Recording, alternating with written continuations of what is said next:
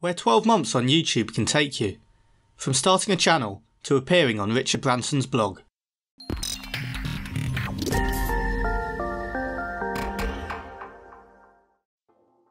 As we begin 2017, I've decided to document the journey of my first full calendar year on YouTube.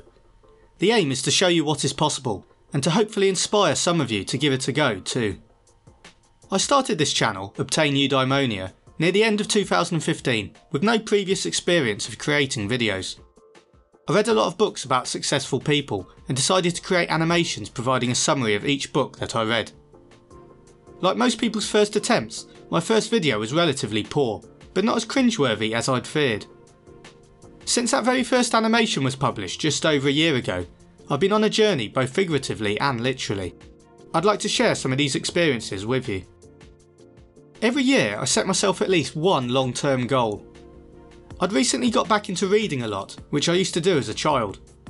In January, I set myself the rather ambitious challenge of reading 50 books in a year, which would mean a video every week for the channel. The first three or four months of 2016 went by, and I was enjoying the process of creating the videos. The challenge to read one book a week and produce an animation was tough but achievable, and the goal really helped me to keep being consistent with producing the videos. Incidentally, in my experience, it's not the smartest that are successful on YouTube, it's the most consistent, the hardest working, and the most unperturbed.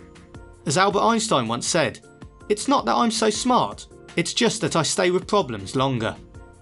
His view is as applicable on YouTube as it is in theoretical physics. The channel was growing, but the growth was slow, and I started having doubts as to how beneficial the videos were for people, as they're primarily educational in nature. Then, in May, I read Screw It, Let's Do It by Sir Richard Branson. It was a great book, and after I made a video about it, I sent a link to it to his company, Virgin, as I thought it may have been of interest to them. A few days later, out of the blue, I was contacted by Sir Richard himself, who wanted to share the video on his website and promote it further. When he published his blog post about the video, it was my proudest moment as a YouTube creator. As you can imagine, the recognition and kind words he had to say about my work were extremely motivating and gave me a boost, not only in terms of motivation, but in views and subscribers as well. Over the course of the year, many other people have got in touch to say how much they've liked the videos, which brings me to my next point, which may seem obvious to some. If you produce high quality content about somebody, let them know. Simply by sending a tweet or an email, I've got to speak to some incredible people and receive some invaluable advice. The author Derek Sivers in particular has been a great help, answering my questions and offering his advice. In August, I did my first collaboration and had an animation about Steve Jobs featured on Evan Carmichael's channel. Since then, I've also worked with Patrick Daniel, who was looking for people to get involved with creative approaches regarding the launch of his new book, The Thinker.